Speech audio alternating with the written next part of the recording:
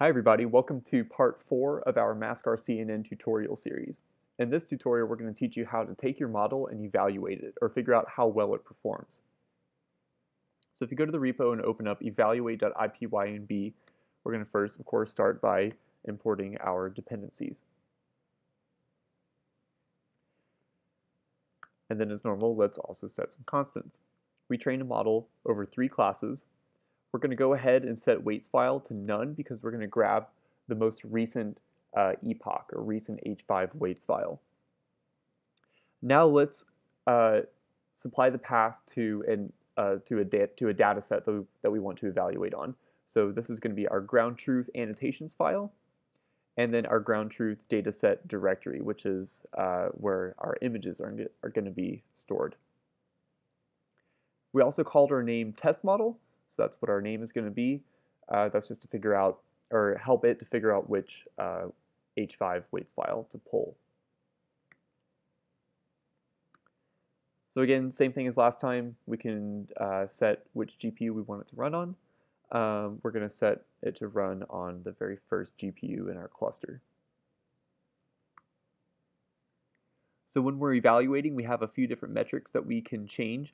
These are just some of the few metrics that we can change. Uh, the rest are in uh, config.py, which is in the MaskR CNN repo.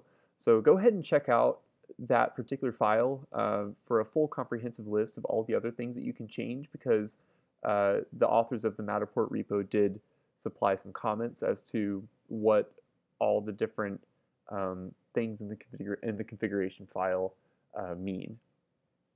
So in our case, this is the setup that works uh, well for us. Um, again, like I mentioned in the last video, you can change this detection minimum confidence uh, depending on um, you know how uh, how confident you want your model to be. In this case, we set it to 0.1, so uh, that basically means if it detects something, if it's at least 10% confident that what it detects is something, then go ahead and display that uh, to the screen. Cool, so we can display our configuration, again, just to make sure everything is okay. And then this is going to be the class that will load uh, to or build to load in uh, ground truth data. We'll build our MaskR CNN model in inference mode.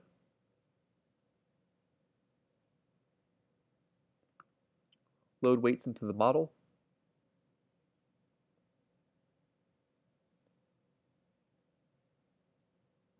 And so it, go, it went ahead and pulled from the most recent epoch, so that's epoch 80.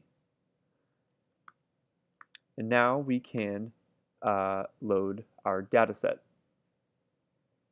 our ground truth data set rather. And so the metric that we're going to be evaluating is mean average precision. And mean average precision is important when it comes to evaluating how well your masks are. Um, for the purposes of this video, we're not going to be showing how to do bounding box uh, accuracy, that's intersection over union. However, Matterport does supply uh, functions to run this particular metric. Uh, for the research that we're conducting, however, we're more focused on mean average precision. So that's why we have this for our repo. However, in later iterations, um, we can add intersection over union. Uh, we're accepting pull requests. Uh, so if anybody wants to contribute, uh, you're more than welcome to. So let's go ahead and run, uh, let's calculate mean average precision.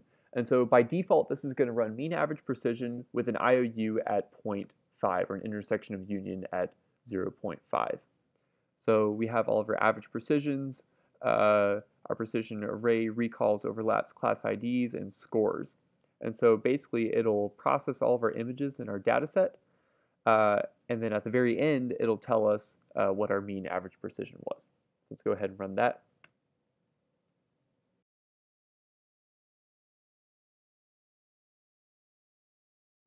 So it looks like we got a mean average precision of around 35%.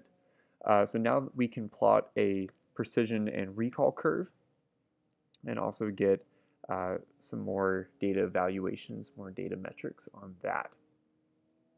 So that's it for this four-part series of MaskR CNN. Uh, we hope that you got some use out of it. And uh, if you have any questions, just leave uh, us a comment and uh, stay tuned for more videos. All right, thanks, bye.